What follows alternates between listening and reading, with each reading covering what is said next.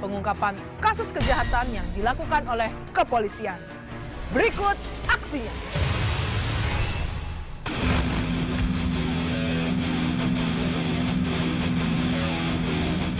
Dipimpin oleh Kapolres Bulungan, AKBP Teguh Triwantoro, personil Polres Bulungan Kalimantan Utara menyisir Sungai Tias di Pulau Tunduk, Tanjung Palas Tengah, Bulungan Kalimantan Utara. Operasi ini dilakukan setelah adanya laporan karena perjudian semakin meresahkan berdiri di tengah tambak udang.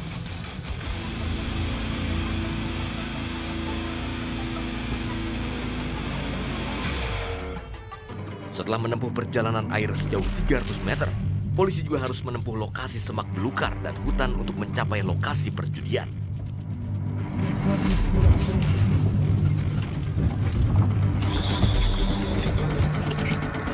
Setelah mendekati lokasi perjudian, polisi bergerak mengendap-endap agar tidak diketahui para penjudi.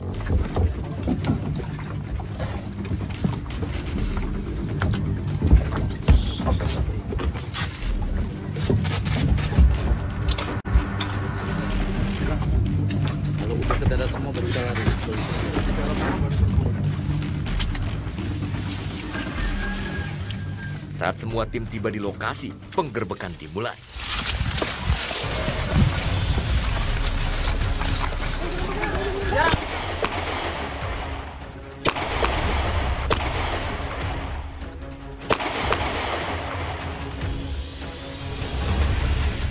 Kejar-kejaran para penjudi dan polisi berlangsung dramatis.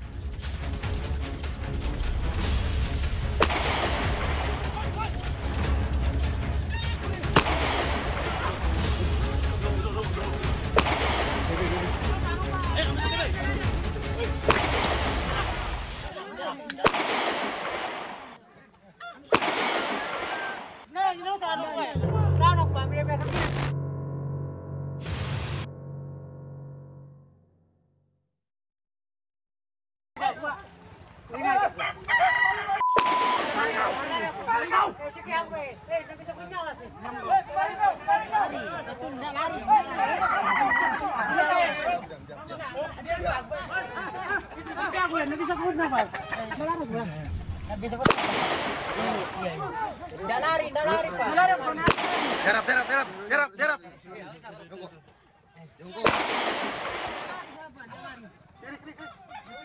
Praktek perjudian dilakukan menggunakan ayam Filipin yang dilengkapi taji. Puluhan penjudi memang berhasil kabur, namun polisi berhasil mengamankan 18 pelaku perjudian yang rata-rata merupakan warga Tanjung Buka dan Tarakan.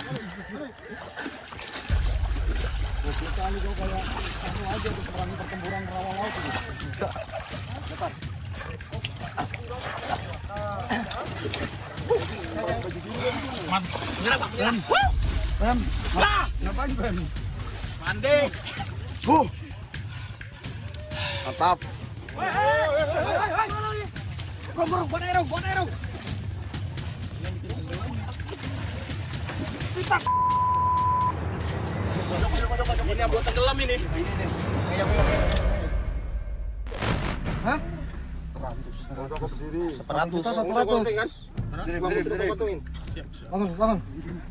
bangun duduk duduk.